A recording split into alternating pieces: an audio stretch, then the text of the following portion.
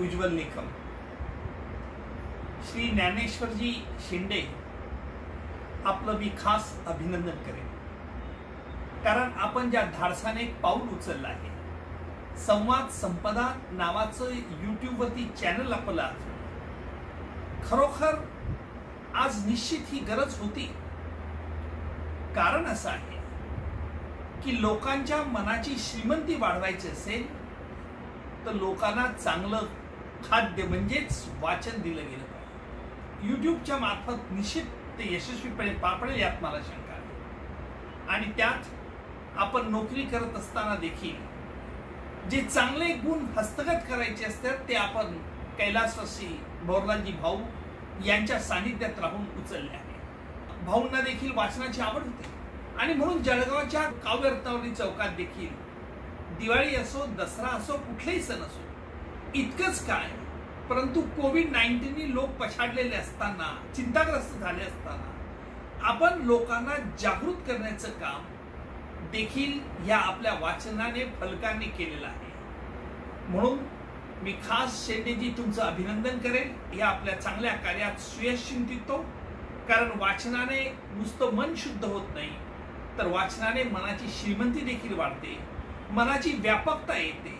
आणि हे सर्व आपण करत आहात याकरता माझ्या आपल्याला खास खास शुभेच्छा. Congratulations to Samvad Sampada launch by senior associate and writer Dnyaneshwar Shende today is fifteenth October which happens to be doctor Abdul Kalam's birth anniversary it is every year being celebrated as reading inspiration day Anil Naik would like to share with you my thoughts on two of the books written by Dr. APJ Abdul Kalam. One is My Journey Transforming Dreams into Actions, and second, Ignited Minds Unleashing the Power Within India. My Journey Transforming Dreams into Actions. Dr. APJ Abdul Kalam's full name was Dr. Abul Pakir Jainulabdin Abdul Kalam. He achieved greatness by virtue of the continuous hard work. He became the 11th President of India on 25th July 2002. Before that, he was awarded Padma Bhushan 1981 and the Padma Vibhushan and India's highest civilian award, the Bharat Ratna 1997. He wanted to become an Air Force pilot, but he did not. But the, faith did not allow him to do so. He had already become an aeronautical engineer by then. He found himself working in the Indian Space Research Organization ISRO and the Defense Research Development Organization DRDO on several important missions like first satellite launch vehicle and development of indigenous missiles like Prithvi, Agni, etc.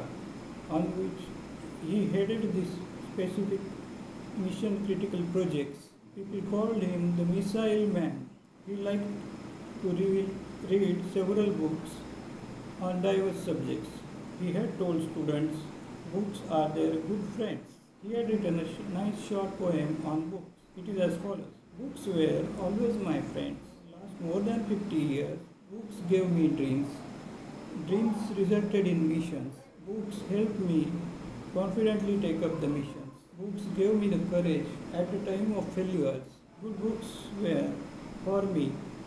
The angels touched my heart gently at that time. Books are your good friends. His father's early morning walks had a great influence on the upbringing of Dr. APJ Abdul Kalam. His father, Jainuluddin, was an early riser, and as it is said, early bird catches the worm. He used to wake up at 4 a.m.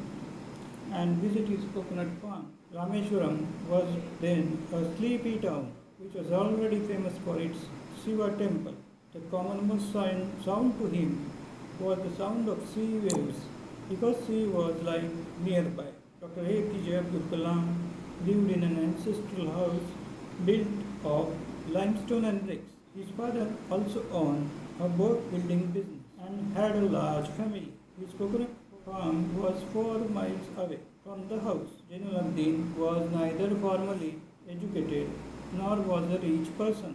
He, Abdul Kalam's father, was more religious and was one of the wisest men, according to him. His mere presence helped calm down the people and gave them a lot of hope. Many people offered him bowls full of water, and then Zainul Abdin used to say a prayer and dip his fingertips into the water. Then the people would take the bowl back to the sea. Many such people would visit Zainul Abdin to thank him afterwards for curing the sick people. Dr. APJ Abdul Kalam had planted a banyan tree at the GERF Gandhi Research Foundation campus near the Gandhi Teerth Museum on 21st May 2014. Then he was on a visit to Jalgaon and the Jain Irrigation Systems Limited JISL.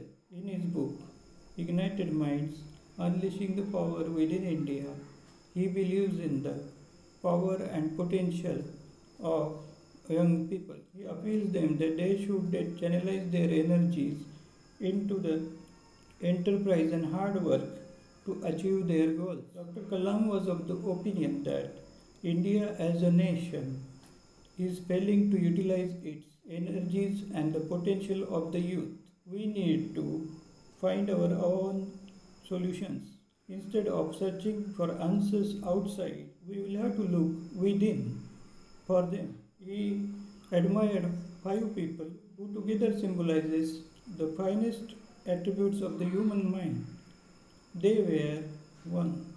Mahatma Gandhi, Albert Einstein, Emperor Ashoka, Abraham Lincoln, and Caliph Omar.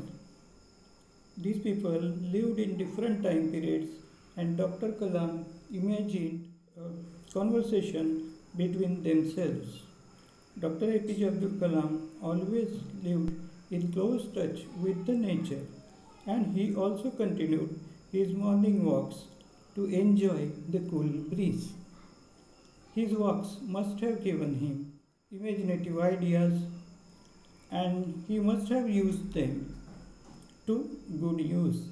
There is no doubt about that. Thank you.